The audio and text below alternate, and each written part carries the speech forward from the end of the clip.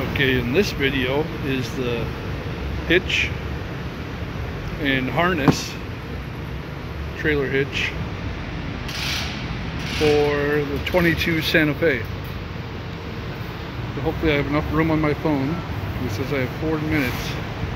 I might have to delete some stuff to get the whole video in. Alright, for the harness, it's going to be behind here. A couple clips and like screw things on the top here. See up there. This one doesn't have a spare tire on it, so you don't have to remove that out of the way. And on this one, I'm just going to remove the exhaust. Like last time, it was like a pain trying to go around it, and I ended up removing it anyway. So this one, I'm going to skip that and just remove it from the start so it's out of the way and make it easier.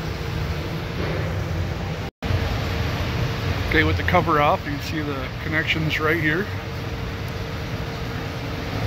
So just take uh, little protective cover off and get rid of that and connect it there and then we're going to run it uh, I think it was up and around here so it can come down here.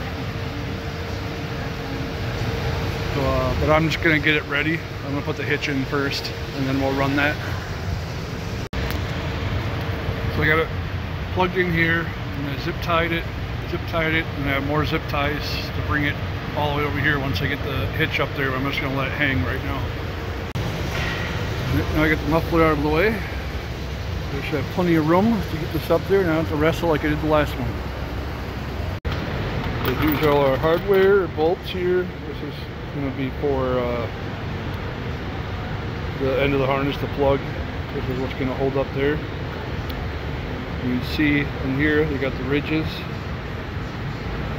That's going to be one of facing towards the, frame of the car. So you're going to want them on there like that so the ridges are away from the head of the bolt. Alright, so I got the hitch up there. I don't have it bolted in, but I have it uh, all these threaded in by hand to make sure I don't cross thread before I uh, you know really tighten them down on there. And then I can, it's still movable. I can make a little adjustments if I need to move it out just a little bit. There's not much you can adjust, but you can do a little bit. I don't got much time left to do a video on my phone. It's full for whatever reason. I got this on there. I dropped one. I'm missing this. But, uh, getting that on there. I ran it just up around. Pretty simple. Pitches on there. Now I put the exhaust back on. Put it all back together and uh, that should be it. Pretty pretty straightforward. Once you get the exhaust out it's real easy. Uh, you're probably going to need a second person or if you're on the ground get a jack to help set this hitch on so you can get one side and then the other side. But uh, other than that good. Going to take this the exhaust hanger you got the exhaust hanger here and the exhaust hanger here exhaust, everything back up there.